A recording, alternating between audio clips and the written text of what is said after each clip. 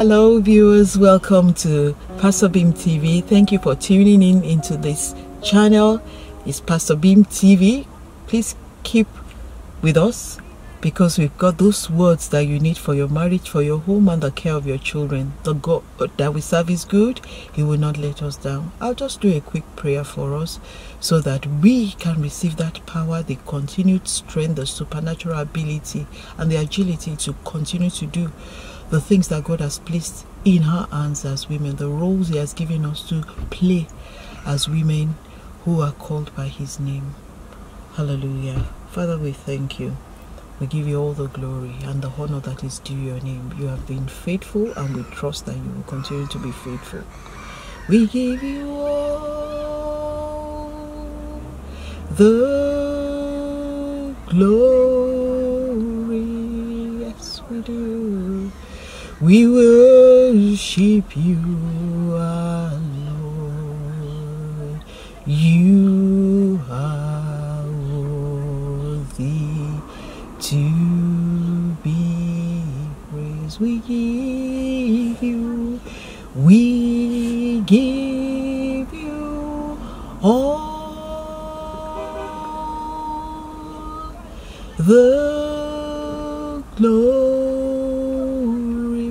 to you, Lord. We worship you, our Lord Jesus. You are worthy to be praised. Yes, you are worthy to be praised, Lord. We can only praise you for what you have helped us to be able to do, to attain, and to achieve. And we put that same confidence in you that you help us with what is ahead. Thank you, Father, Lord God, in Jesus' name. Um, today's message is dealing with service to the Lord. It's all about service to the Lord as women. Uh, we play roles, we give services that give glory to the Lord Almighty. And uh, when we talk about services to the Lord, we are talking about being prolific in our roles as women, being prolific in our role as mothers, and um, as wife. And the Bible says, whoever finds a wife finds a good thing and obtains favor from the Lord. Uh, I'm going to be reading um, Acts chapter 1 and verse 8 says that we have received power. Power after the Holy Ghost has come upon us. And as Christian women, we've received that power. Power to do what the Lord has called us to do.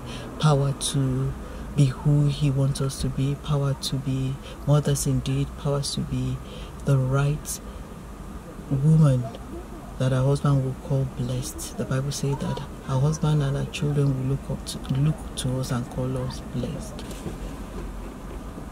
So as we play our role as that woman of valor, woman of purpose, that wife that is a blessing, we give Lord the glory. The glory goes to God by our lifestyle, by doing exactly as God has ordained for us to live as women who are to their husband. And the Bible says their own husband. Ephesians chapter 5 22 says that he, the, I read from the Amplified Translation, the classic edition that says that wives to be subject to their own husband. It says, Wives, be subject. It says, Be submissive and adapt yourself to your own husband in service to the Lord. You have to adapt, the Bible says. We have to adjust to our own husband. You know, Bible talks about two has become one.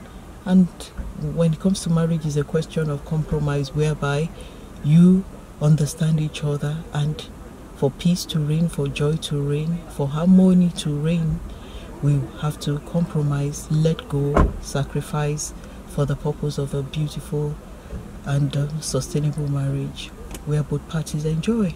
Um, I read to us earlier. I read to us earlier what the Acts 1 8 says to us. Act 1 8 says that we've received power, that power to be who God has called us to be. So our lives must be a witness that we are God's women, you know, by the things we do, by the things we say, by the way we run, the affairs of our home, the affairs of our, of, of, our, of our children, ensuring that they are living in the nurture and admonition of the Lord, just as the Bible enjoins us. Um, John 13 and 34 says to us that we should love one another and in the process of loving one another even inclusive of the children you know as a holistic eh, body of christ in a home we can attain anything. And we're talking about love that is unconditional whereby we sacrifice because love is sacrifice. So the power of love is so strong it covers our husband covers our children and covers practically everything we do.